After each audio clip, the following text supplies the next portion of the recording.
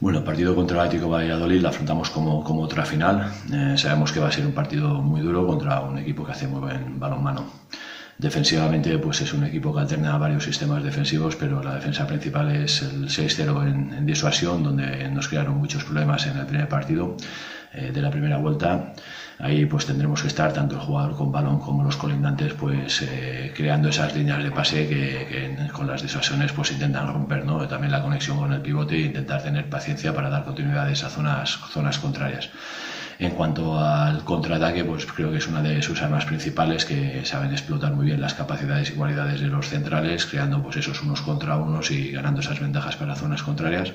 Y ofensivamente, pues bueno, tienen una muy buena sistemática, variando tanto el juego directo como el de continuidad, eh, dando eh, salida a los extremos en circulaciones, eh, trabajando muy bien las situaciones con el pivote, el lanzamiento del exterior, con la conexión uno contra uno más continuidades eh, para el pivote, bueno, ahí sí que tendremos que estar muy juntos, intentar eh, ayudarnos unos a otros para, para, no crear esos espacios que ellos saben generar muy bien. ¿no?